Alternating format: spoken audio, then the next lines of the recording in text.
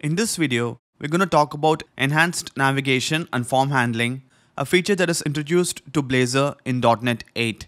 This feature is a progressive enhancement made to static server rendering and it improves the user experience of a web app. So first let's see how static server rendering works without this feature enabled. So here we have a browser that sends a request to the server. On the server, the request is routed to a Razor component. The Razor component then executes and produces HTML and that HTML is added to the response and sent back to the client browser. The browser then displays the web page. Now, there are two problems with this approach. First, it causes a full page refresh and second, for form requests, the user's scroll position is lost. So overall, it leads to a poor user experience. Now let's see how static server rendering with enhanced navigation and form handling works. Here, initially the browser sends a request to the server. On the server, the request is routed to a Razor component. The Razor component executes on the server using static server rendering and produces HTML. And that HTML is added to the response and sent back to the client browser. And the browser then displays a web page. But now the response contains a script called the Blazor web app script, which is blazor.web.js. When the user now wants to perform a navigation or submit a form, the Blazor web app script or blazor.web.js will intercept that request and perform a fetch request to the server. Then on the server, the request will be routed to a Razor component and the Razor component will execute as usual using static server rendering to produce HTML and that HTML will be added to the response and sent back to the client browser. But this time, the Blazor web app script will handle that response and it will calculate the minimum number of changes needed to update the DOM. And it will patch those changes into the UI and the UI is now updated. So with this approach, we don't have a full page refresh anymore. And for form requests, the user's scroll position is also not lost. So this improves the user experience of the web app. Let's see how this works in action. For this demo again, I have the Blazor New Features solution opened up. Now expand the components folder and double click app.razor. Right below the routes component, we see the Blazor web app script commented out. So this disables any progressive enhancements such as enhanced navigation and form handling and streaming rendering. Now if we run the application and go to developer tools, just right click anywhere on the page and click inspect and go to the network tab and make sure all is selected here. Reload the page and go to the counter component. On the right hand side, we see the full response coming from the server, including all the static assets and everything. And if we look at the loading spinner here and navigate to a new component, we see there is a small blip. This indicates that a full page refresh is occurring whenever we navigate to a new component. Now let's go back and uncomment the script out. So this turns on enhanced navigation by default. Once again, let's run the app. Right click anywhere on the page and click inspect.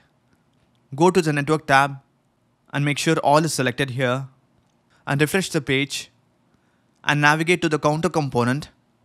We can see a fetch request was initiated by the Blazor web app script which is blazor.web.js and the counter component executed on the server and the response was returned. We can confirm that a full page refresh is not occurring by looking at the loading spinner here again. As we navigate to a new component, there's no blip this time. Now let's go back and go to home.razor. Now as I already said, enhanced navigation is enabled by default with the Blazor web app script. Now what if we want to disable enhanced navigation on a per link basis? So let's say we have an anchor tag that links to the counter component. And I would like to disable enhanced navigation for this link. So to do that, we have to use the data enhanced nav attribute on the anchor tag and set it to false. Now once again run the app, right click the page, click inspect, go to the network tab and make sure all is selected here and refresh the page and click the counter link. We can see there is no fetch request that is being initiated by Blazor web app script for the counter component. Instead, we get the entire response from the server. This is because we have disabled enhanced navigation on the link. Now, enhanced navigation can also be controlled hierarchically. So for example, if we place the anchor tag inside a div element and set the div element's data enhanced nav attribute to false, then enhanced navigation will be disabled for the anchor tag inside that div. Now let's see a scenario where we want to disable enhanced navigation. Let's say from a Razor component, we want to navigate to a non-Blazor endpoint such as a Razor page. So now go to the program.cs class file and add the required services for Razor pages. So builder.services.add Razor pages and scroll down and register the endpoints for Razor pages by calling app.map Razor pages. Now right click the project and select add new folder and name the folder pages. Now right click the pages folder and select add razor page. Select the razor page empty template and name the razor page test. And on this page, create a h1 heading with the text this is a test page. Now from the home page, we want to navigate to this test page. So go to home.razor and remove the data enhanced nav attribute from the div element and set the href attribute value of the anchor tag to test and set the link text to test. Now run the app, right click the page, click inspect and go to the network tab. This time select the preserve log checkbox here and on the home page click the test link. We can see at first a fetch request is being made for the test page. Then a full page request is being made for the test page and we get the response here.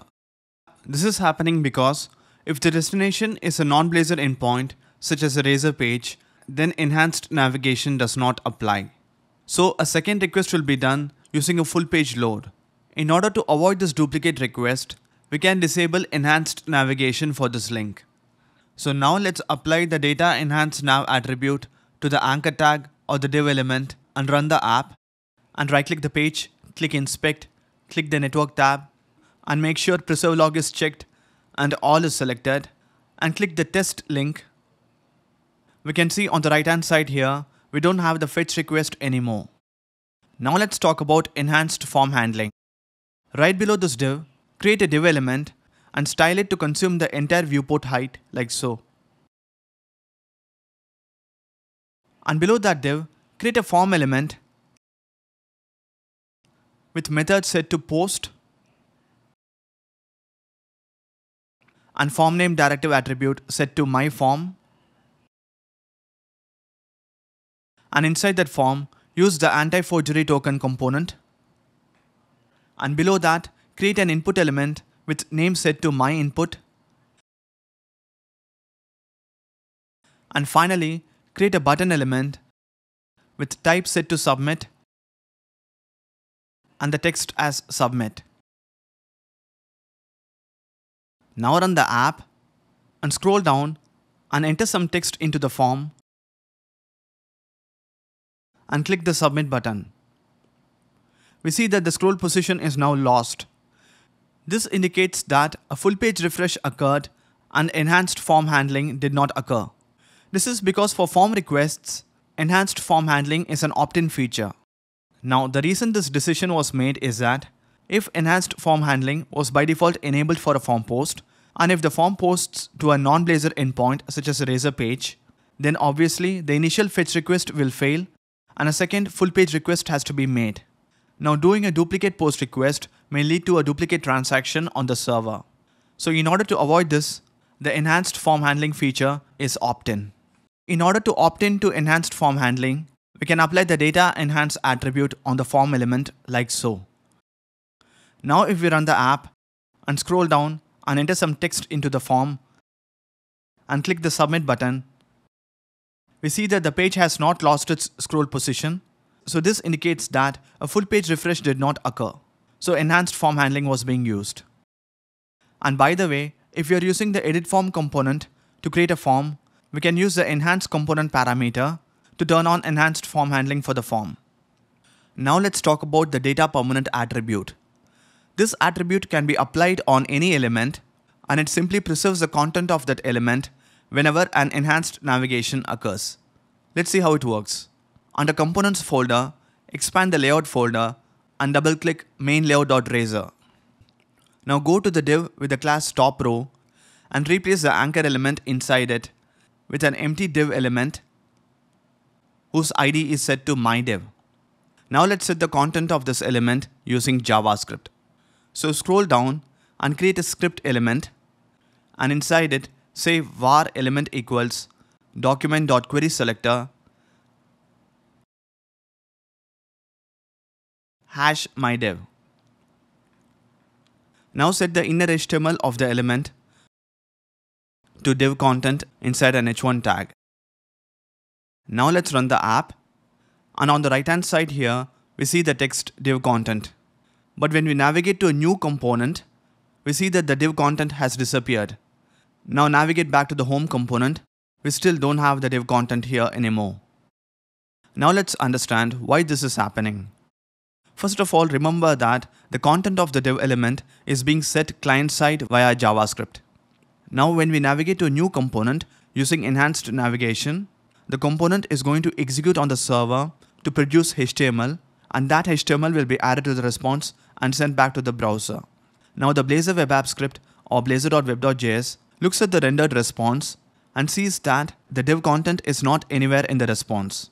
Now since enhanced navigation applies changes based on the return response from the server, it simply discards this div content and that's why the div content has disappeared. Now in order to preserve the content of this element, whenever enhanced navigation occurs, we can use the data permanent attribute on the div element like so.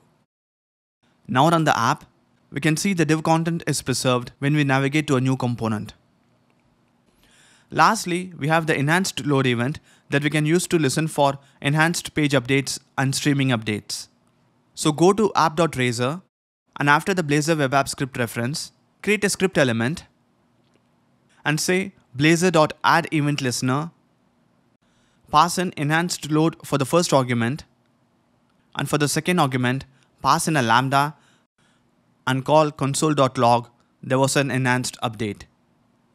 Now run the app and right click the page click Inspect and click the Console tab and navigate to the counter component, we see there was an enhanced update being logged into the console. Likewise, if we do a couple more times, we see the number getting incremented. Let's talk about two more things. When we want to do a programmatic navigation, we know we can inject an instance of Navigation Manager and call navigation.navigate to and pass in a URL. Now we can use a second parameter called force load which by default is set to false.